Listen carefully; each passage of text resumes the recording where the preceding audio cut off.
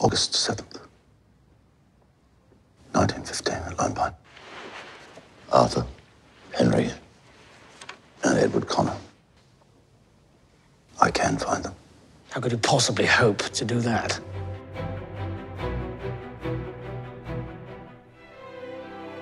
The water diviner. It's a man who can detect the presence of water underneath the ground. Divining rods are L shaped pieces of metal that rotate within the wooden handle.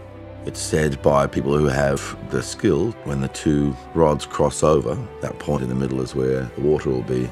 So that's why it interested me because I know my dad had that sort of that skill. He said to me, oh, I never really found water sources. I was just good at broken pipes.